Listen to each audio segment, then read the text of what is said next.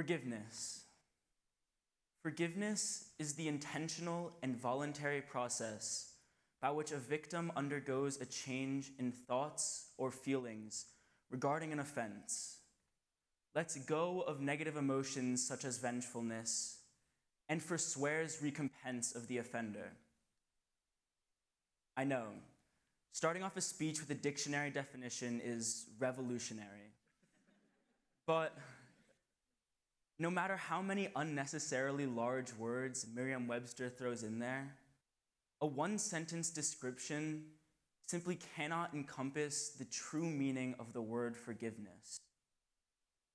True forgiveness is letting go of your ego and the anger you feel in order to progress towards a common goal. True forgiveness is not when you say two months later, remember that time that you when you get in another argument. True forgiveness is putting down your sword after something irreparable happens to you. And this is exactly what my grandparents did after surviving the Holocaust, arguably the most evil event of human aggression in recent history. My grandfather, Barry Ikovics, was born on October 19, 1924, in Munkac, Czechoslovakia, the 10th of Rosa and Eliyahu Ikovics' 11 children. Both his parents were Orthodox Jews, and naturally they expected the same of him. However, this never fully came to fruition. He would often tell me stories of holding onto the tails of one of his family cows to swim across the river and avoid Sunday school. However, growing up Jewish in 1930s Eastern Europe would not grant him these pleasantries for long. And by the age of 17, not much older than I am right now, he was forced to leave his home to escape the oncoming war. Now, during the war, my grandfather was many things. He was a forced laborer. He was an informant to the Russians. He was an assistant under a Hungarian SS officer We had to fear for his life every day in case they found out he was Jewish. My grandfather survived the Holocaust through pure cunning and intuition. After the war, he returned to Munkac to see what remained of his old life and found it destroyed. Both of his parents had been murdered, and he was only one of six of his 11 siblings to survive the war.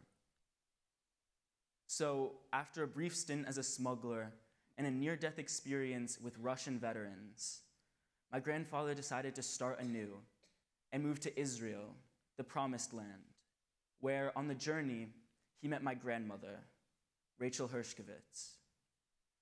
My grandmother, seen here in the middle of the top row, was born in 1930 in Tech, Hungary, also Jewish, where at the age of 14, she was taken from her home and brought to the most infamous of concentration camps, Auschwitz, where she had to know that her life lay in the hands of Josef Mengele, a man so evil, so unhuman, that he had earned the nickname the Angel of Death.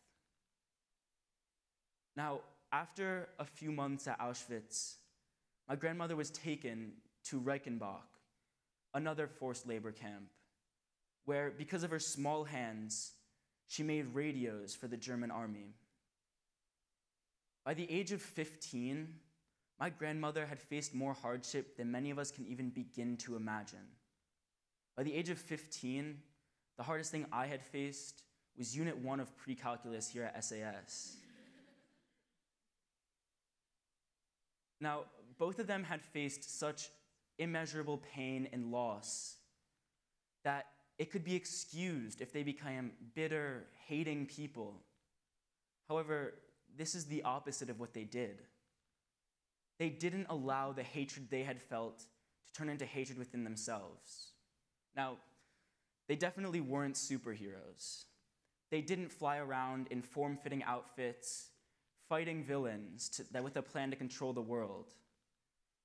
But what they did do is they used their suffering, their past, their experiences, as a way to look at the world differently, to see the people who suffered and to empathize with them in a way that many people simply cannot. For example, my grandfather, he owned a business in a poor, predominantly black neighborhood of Philadelphia called Germantown, where there lived a man who they called Gigolo because he was always dancing around, likely due to some form of mental illness. Now, being a black man in the civil rights era with a mental illness, Gigolo was the end of many prejudices held by the society. And my grandfather could easily have joined in on those and used his past as an excuse to hate. But he didn't do that. Instead, every day as he walked past Gigolo, he would give him a part of his sandwich or give him a dollar and ask your parents, a dollar was a lot back then.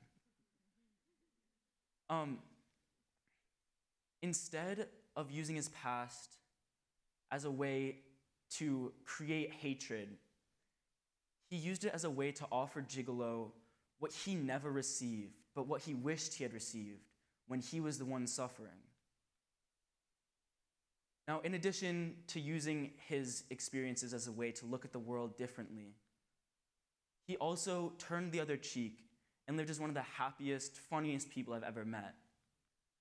He was always telling jokes or drawing pictures, always trying to make people laugh. And one time, it almost came back to bite him. He was interviewing for, a, for an apartment at an assisted care facility called Ann's Choice in Pennsylvania. And he was almost denied because of a dirty joke he told the interviewer. Even when he was 85 years old, suffering from dementia, he still felt the desire to make others smile. But this was his spirit.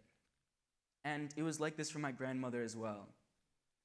When I was five or six, we went on a trip to Disney World. Me, my family, and both my grandparents. So it was six of us.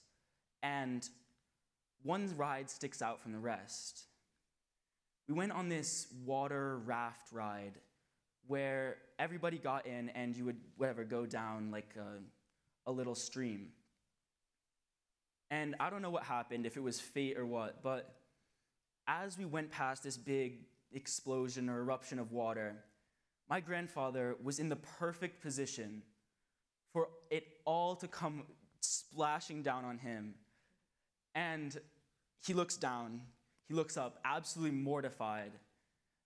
And sitting next to him is his wife of 60 years, cracking up, absolutely dying of laughter, because her husband is sitting there with soaked khakis.